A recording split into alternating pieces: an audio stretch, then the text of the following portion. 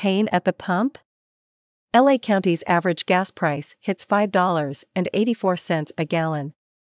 Problems at West Coast refineries and elsewhere have contributed to spikes in gas prices, despite oil prices dropping, according to experts.